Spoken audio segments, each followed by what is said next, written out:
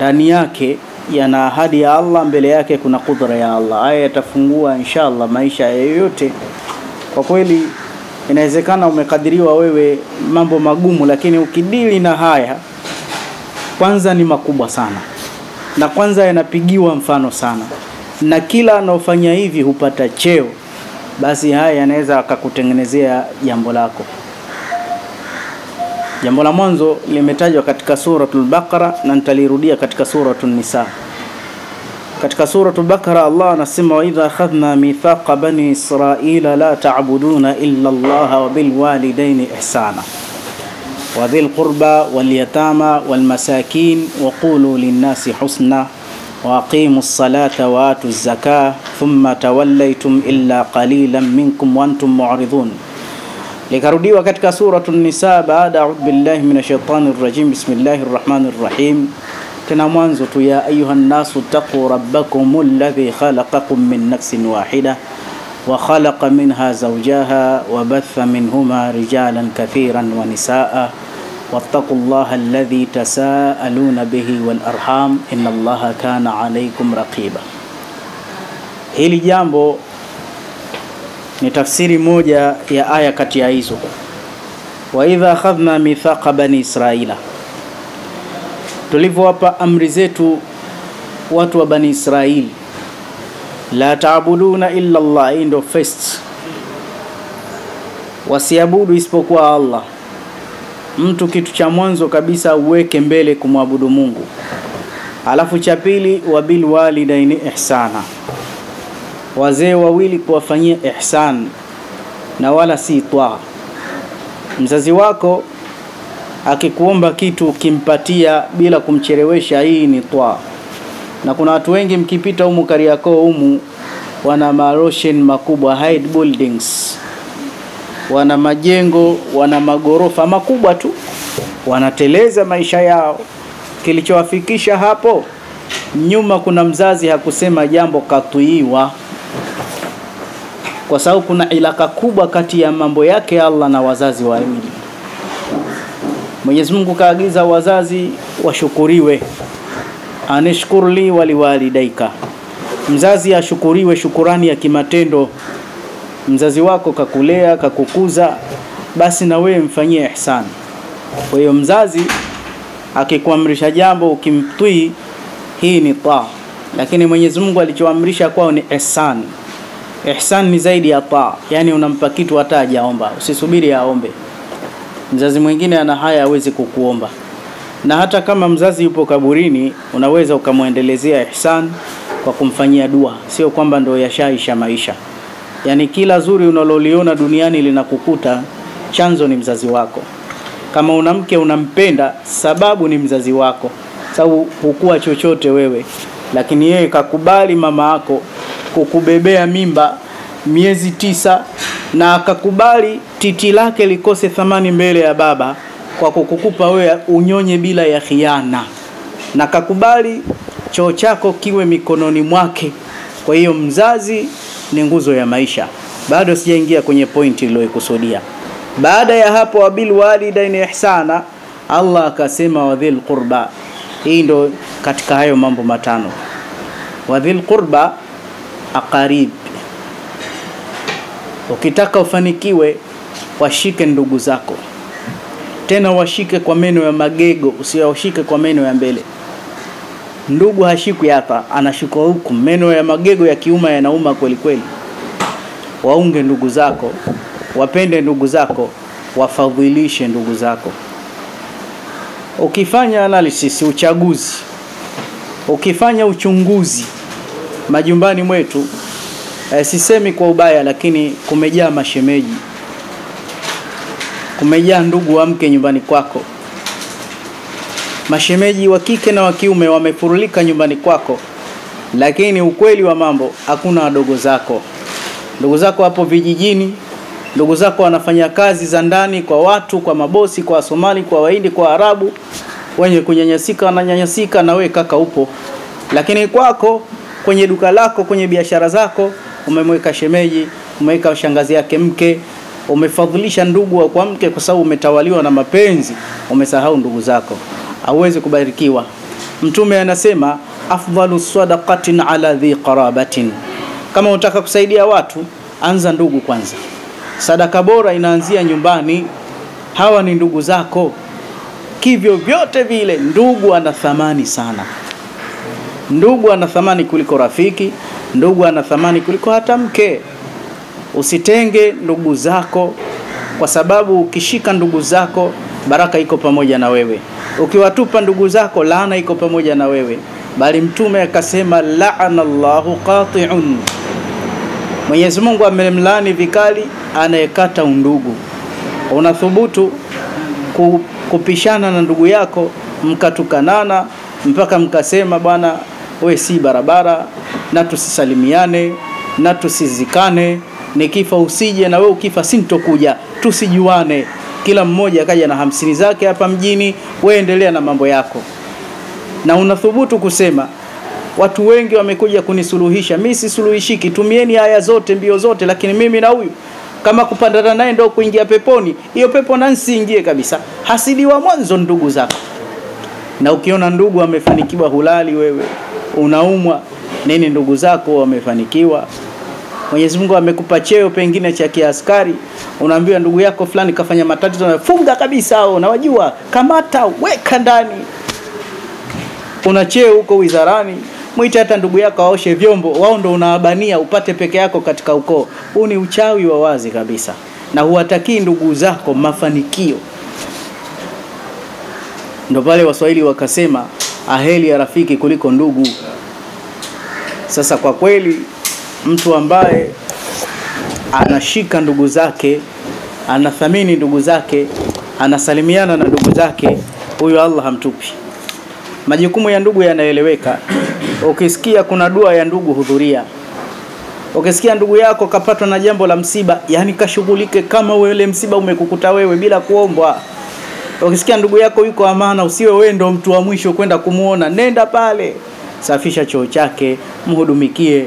Yaani ndugu ni ndugu, hata awe kama mtoto wa jicho, hata wa mbali. Una shangazi yako, huyo shangazi yako akazaa mtoto, huyo mtoto aliozaliwa naye akazaa mjukuu, hata yule mjukuu ni ndugu yako tayari. Na kadri ukoo unavyozidi kuwa mkubwa, basi ukiutendea kheri, ile dua yake inakuwa kubwa, kwa sababu ukoo unaomba dua.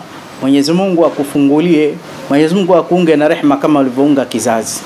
Sasa ninavyosema maneno haya, hauna ndugu yako yoyote ambaye umegombana naye tena. Hatari kubwa, watu hugombana mpaka na yule ndugu wa tumbo moja kabisa. Hapo ndo ilipoanzia laana ya mikosi. Kwa hiyo badilisha sistimu, mwambie mke wako, kama wewe utaki ndugu zangu, basi mke wako na mdogo wako akila akwambia huyu shemeji anakula kwa uroho, mwambie ndugu yangu, uwezi ondoka wewe, niachie ndugu yangu. Lakini ndugu hawa wana ihsani kubwa sana, unawakuta ndugu zako huwajali. Yani ukija hapa Dar es Salaam, wallahi mshamba, umekwisha kazi, huna mbele huna nyuma umepata yani, ulivyokuja hapa Dar es Salaam, nani kafikia kwa rafiki kumi kwa mmoja? Umefikia kwa mjomba, umefikia kwa mama mdogo, umefikia kwa shangazi, umefikia kwa dadako. Tena dadako anakubeba huku, mume wake anamwambia mwambie kakako aondoke hapa. Unataka kuivunja ndoa ya dadako, lakini yeye anakushikilia tu kwa ndugu yake. Kwa hiyo ulivyokuja mjini kutafuta maisha hapa, umefikia kwa ndugu, umefanya fanya kazi, umeanza kufanikiwa, ndugu hawana mchango na wewe tena, hawana thamani unakula pesa zako na wasiokuwa ndugu, unatafuta vichochoro, wala utaki kusuhubiana nao kabisa. Ndugu mbali na wewe, wewe na, na ndugu tena. Wakija sasa, utawasema washaanza kuja kuomba hao, hawaridhiki hata uwape, bwana ni ndugu, lakini ndugu zangu mimi mashaka matupu.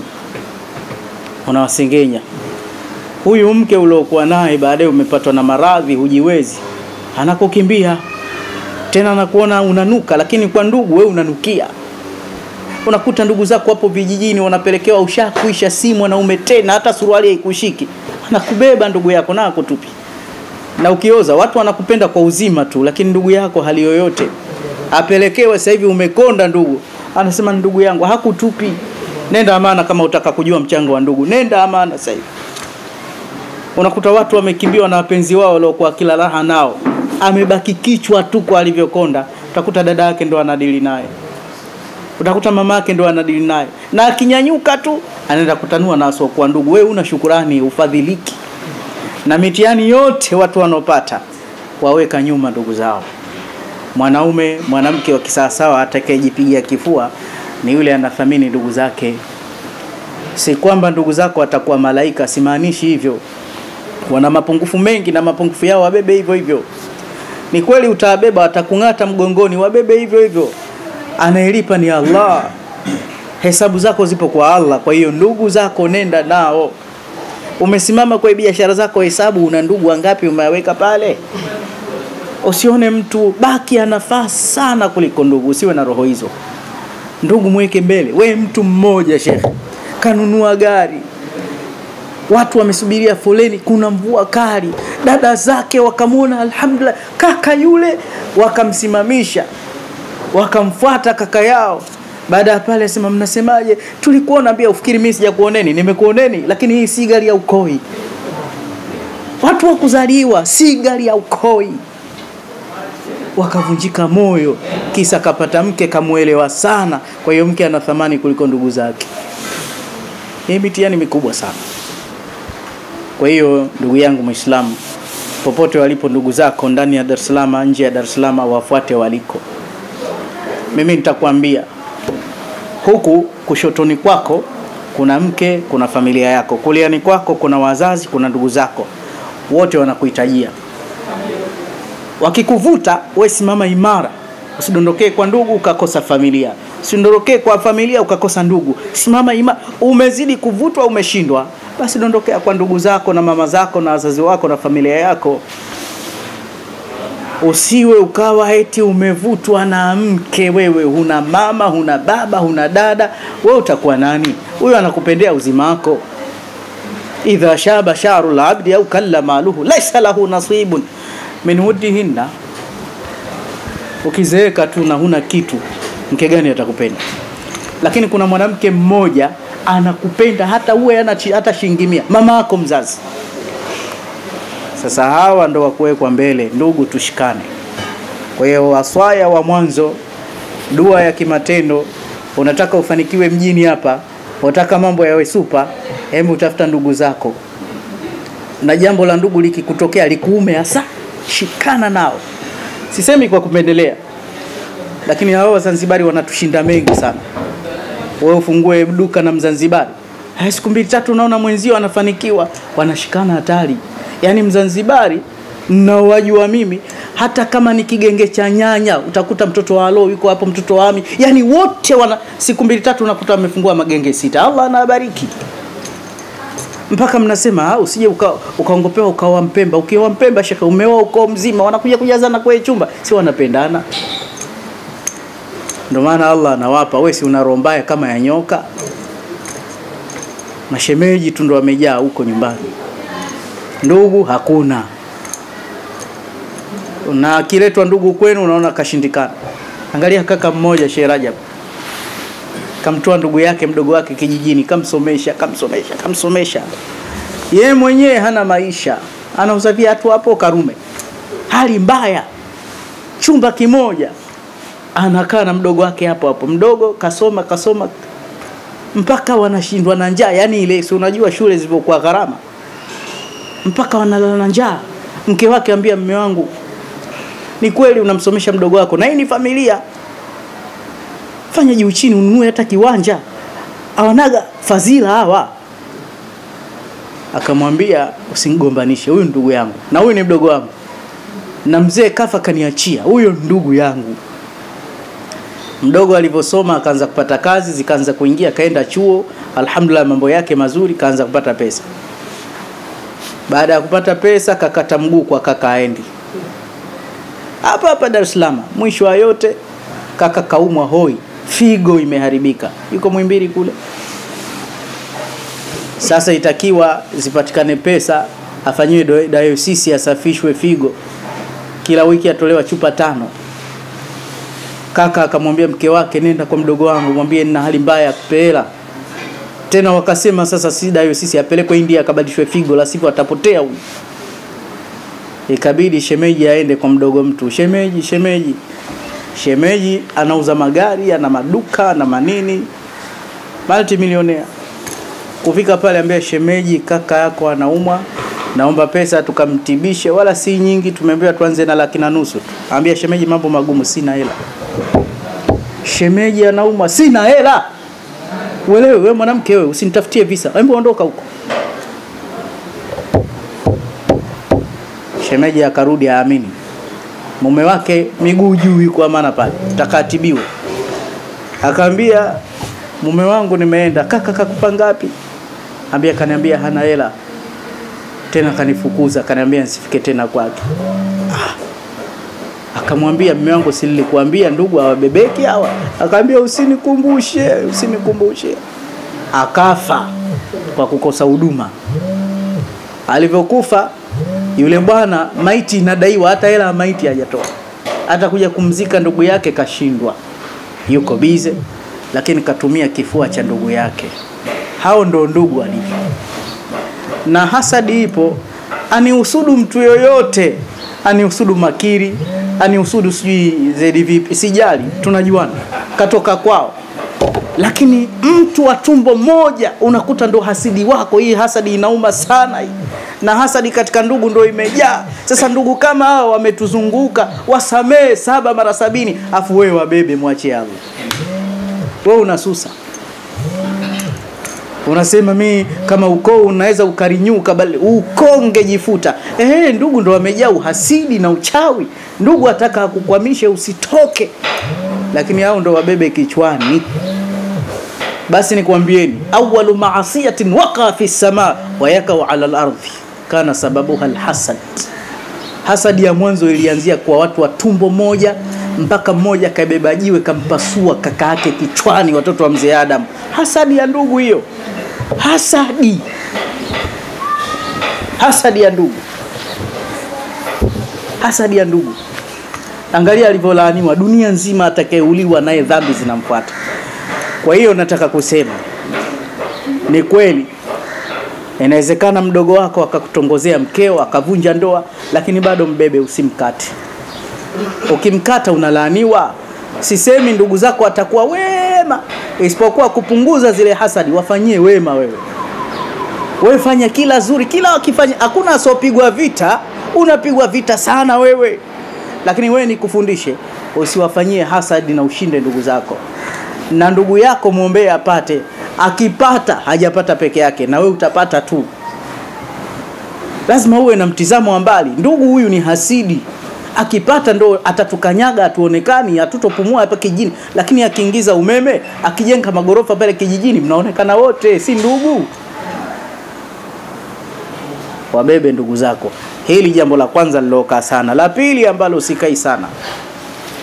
La pili ambalo sikai sana ili upate kufanikiwa mambo yako mwenyezi mungu akufungulie. Jitahidi sana kutoa msaada kwa mtu yoyote alioelemewa mtu yoyote msaidie. Yaani mtu yoyote hata akikukopa usimrudishe mikono mitupu huna cha kumpa mtafutie maneno mazuri mpaka aridhike. Mtume anasema inna allaha fi auni labidi. Mwenyezi mungu atakusaidia tu kama wewe utasaidia mwingine. Sisi jamanini msaada hatutoi. Msaada uko wa njia nyingi sana. Waweza ukawa daladala imejazana tu ukampisha mtu hatani mtoto mdogo akae yeye ndo umemsaidia vile. Yani pale kuna lako linapita. Msaada si hela peke yake. Unaweza ukapita sehemu watu wanakanyaga mawe wanaruka wanatumbukia. Weka ubao pale weka jiwe. Huo ni msaada mkubwa sana huo. Kuwa mtu mwenye kusaidia watu. Yaani wewe kuwa mwenye kusaidia watu kuliko wewe unavyosaidiwa usifanye kitu kwa maslahi. Usiseme haya nikifanya mimi nitafanyiwa nini? Yani jitahidi sana kusimama katika khidma ya watu. Mtu yoyote ambaye anawafeva watu huyu huwa anakuwa bwana. Allah hawezi kumtupa. Hizi ni ofa za bure bure. Kwa hiyo isipite siku hakikisha nimefanya ihsani gani kwa watu leo. Kuwa katika kampani za watu usisikie nyumba ya jirani huko wanagombana mtu mke na mumewe ukasema au wakristo hata hawanihusu mimi nawajua najua wanachopigiana hapana bwana simama nenda kafanye musalaha aslihi waslihi baina mutakhasimatain watu wawili wanagombana nenda kasuluhishe. Utatukanwa, sio kwamba ukisuluhishwa ndo utaambiwa bwana wewe mwema. Utatukanwa, haya kuhusu umbea tu, wewe unanijua mimi, usituingilie. Hii nayo ni dua ya kimatendo. Mwenyezi Mungu mtume anasema atamsaidia mtu mambo yake, atampa msaada mambo yake kama yeye atasimama juu ya kuwasaidia wengine. Ndugu zangu, katika kutoa msaada hakuna tabaka. Hujaambiwa kwamba umsaidie Muislamu tu, umsaidie shekhe tu, umsaidie unayejua na yani, tendea kiumbe cha Mungu wema chochote bila kujali wewe kimekufanyia nini, bila itikadi. Si hivi, hata kiwe kiumbe hicho nguruwe. Narudia tena, watu ukiwa tajia nguruwe kile kiumbe cha Mungu kinahitaji msaada, kisaidie. Mwanamke mmoja kazi yake uasherati, anajiuza. Hakuna dhambi kama hizo. Kama una mbwa ana kiu, kachota kiatu chake alichohongwa nacho, kampa mbwa maji yale, kabashiriwa anakwenda peponi yule mwanamke, mwanamke wa kibani Israeli. Haya, huyu mwasherati tu kamsaidia mbwa, annajasatu mughalladha. Haya, ukimsaidia binadamu maskini, ukimsaidia mzee mzigo wake, hasa mnataka nini? Si tumerogwa sasa sisi? Kuna kheri zaidi ya hizo? Uislamu ndo huo, utu ndo dini. Lakini mwingine anajua tu kuswali peke yake sana, kufunga peke yake sana, afu hatengamani na watu kwa kheri yoyote wala viumbe, mnyama kamili. Aa, hili jambo la pili. Jambo la tatu la kuweka mambo yako supa ni jambo kubwa, utalidharau. Atimu jaian, fanya mpango sana ili usiliache, na ukiona pahala linafanyika iga. Wallahi ilisha watu, wallahi jitahidi sana watu wale. Usinywe chai ya asubuhi, tafuta majirani Huyu mzee Ibrahimu alikuwa ameweka bango kabisa nyumbani kwake, naweka weke bango jamani, atakayepita hana hoteli Nabii Ibrahim, si tajiri Nabii Ibrahim, kaweka bango jamani, kila anayepita humu ndani mwangu mwaliwa humu. Si kwamba nita, akija sina kitu tutakunywa maji, lakini nyumba ya Nabii Ibrahimu ilikuwa ni mwiko kupita eti usitie riziki mdomoni. Anajua fadhila za kulisha. We mgeni anaingia mwaka unaondoka, hata maji. Angalia tulivyokuwa wachoyo, ile kumwambia tu mtu asikaribu hata maji. Hilo hakuna. Mambo yanaenda vipi? Mtume rehma na amani juu lake, hutuba ya mwanzo anafika Madina, anaambia watu ya ayuhannas ayuhannas afshu salam wa at'imu ta'am, enyi watu mutoe salamu alafu mulishe chakula, wasallu billaili wannasu niyamu, na mjitahidi kuswali usiku, alafu mtaingia pepo ya Mola wenu kwa amani kabisa. Chakula bwana. Nabii Ibrahim ameitwa mtukufu, ameitwa kipenzi cha Allah liitamihi taam, kwa sababu ya kulisha watu chakula. Wewe unaona mchezo? Wewe ulishe wazee, ulishe mayatima, ulishe maskini, ulishe wenye kuhitaji kula Ah, wewe umevuka shekhe, usione hasara, usione hasara.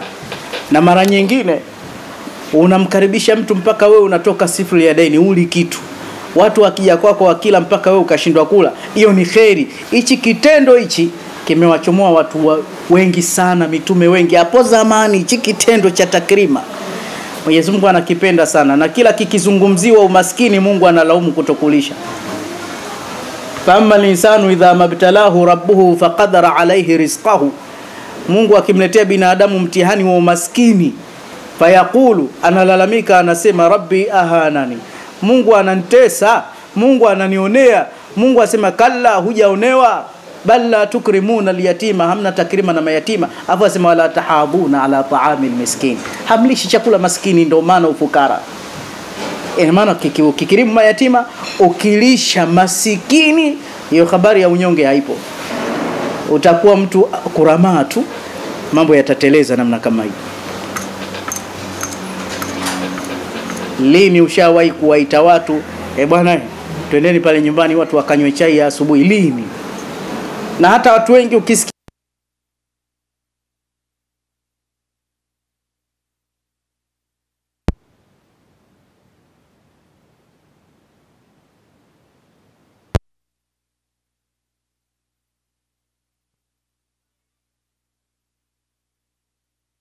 watu, zima mikamera yako kuleni. Wewe si unamwonyesha Mungu, lakini hapa wanafutarisha. Kwa hiyo kamera zifungwe tena, mtu akipakuliwa watu waone, upige kamera vizuri. Afuta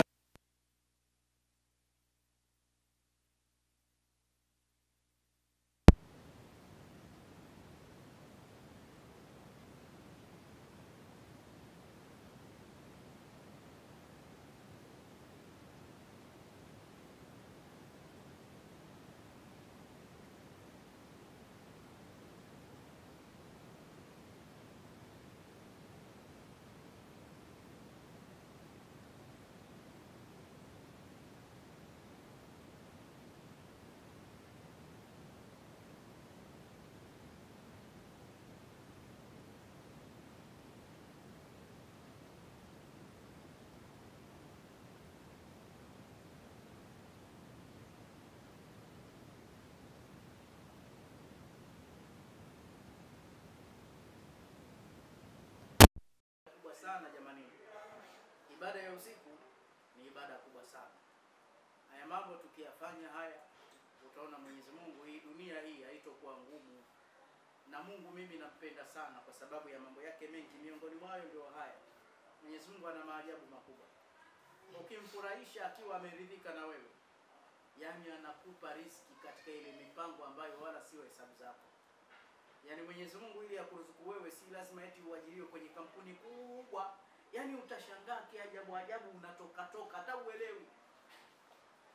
Na pia ukimwomba Mungu sasa, baada ya kufanya haya mambo, usimwombe Mungu kutegemezea mtu fulani, basi Mungu nishafanya hivi, jalia rais aniangalie. Ah, rais ni mdogo sana kwa Mungu bwana. Wewe usimpangie Mungu kabisa, usimpangie. Mwambie Mungu niloyafanya mimi ni elimu uliokuwa unajua nayo ni ya darasa la nne, darasa la saba, au sikusoma kabisa, lakini wewe ndo unayewachomoa watu walionasa. Sasa wewe utajua mwenyewe unaniruzuku vipi. Hata kama unazidondosha pesa kutoka angani, wewe hushindwi. Mungu kamletea Bi Mariam sahani za chakula kutoka mbinguni, unaona mchezo? Mungu ana milango mingi haisemeki. Na Mungu sasa akiamua kukupa ndugu yangu, akuandikii barua kwamba ujiandae, hakuandikii barua, na aliopewa hapo konyeki. Yaani ukishasetiwa hakuna mtu wa ushuru atakayekuja kukubughudhi. Kwanza atakaye kufuatafuata kazi yanayo. So wewe ni mtu wa Mungu. Haya haya yana shida gani kuyafanya? Vijana wale hatuna hela jamani, hatuna hela, tumechoka. Baskeli una, lakini kilichokujaa kiburi, uchoyo, uzinzi, uchafu. Huu ni mtandao wa Ibilisi, na Ibilisi ashaona wewe ukimchekea Mungu tu anakupa. Sasa akuachia na kushikia koni, una, huna subira unajiona kwa umri wangu nsipotesa na watoto wa kike nitafanyaje? Na hata ukiwatongoza walaini, unaona kama mafanikio, unakwama, utakufa maskini hivyo hivyo, kila siku mipango tu.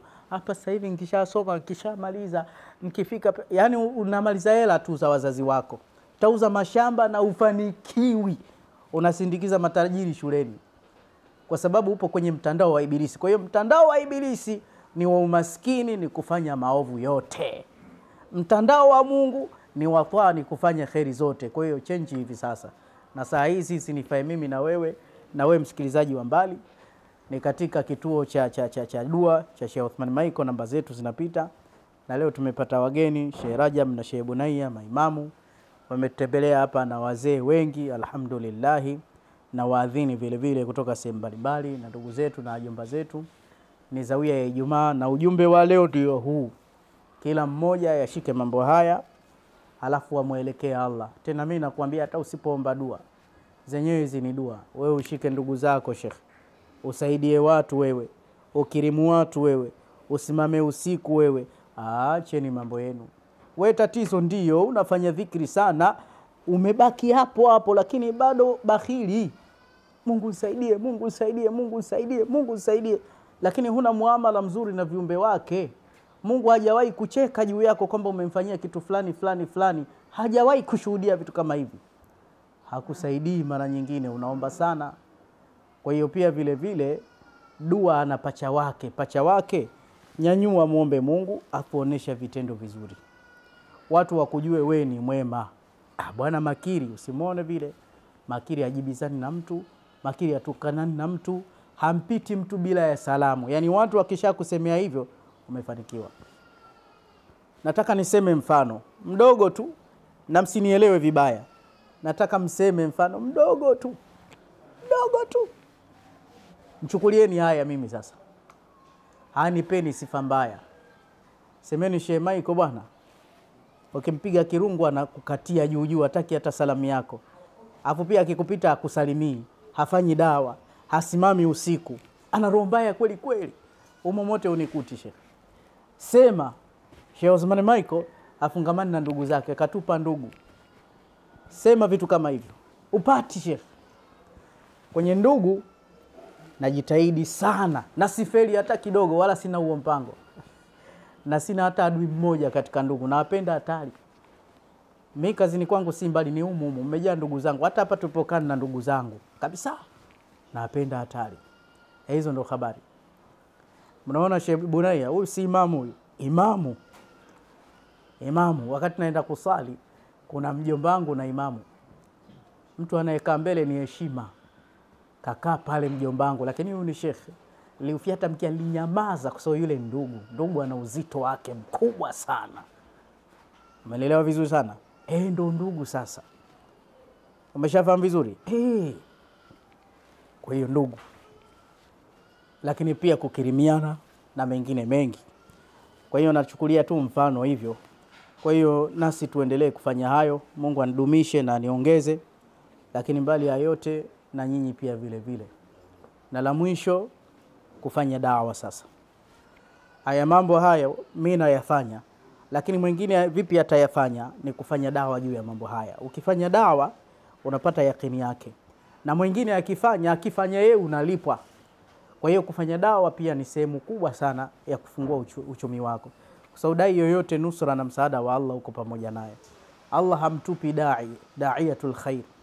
Kwa hiyo usikae kimya tu, na ili ufanye dawa si lazima urekodiwe bana. Dawa ina pahala mwingi kabisa. Ukikutana na mtu mwamrishe kheri, mwamrishe mtu kheri. Hii pia ni sehemu ya dawa, itakuwa mambo yako yote yuhmadu ukba. Baada ya kuyasema hayo, sasa wakati wetu umefika vizuri, tutaangalia tule au tuswali, yote ni sawa tu. Namba zetu zinapita insha Allahu taala, bifadlillah subhana rabbika rabbil izzati amma yasifun wa salamun ala almursalina walhamdulillahi rabbil alamin. Eh,